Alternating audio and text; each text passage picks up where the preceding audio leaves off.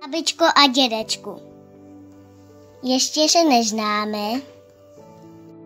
Co kdybychom se skamarádili tak, že si napíšeme dopisy. Chtěli byste? Já chci moc. Můžeme si psát o tom, co nás baví a zajímá, co pořád děláme a o všem na světě. Já můžu nakreslit i obrázek. Obrázky kreslím ráda. Budeme dopisovací kamarádi.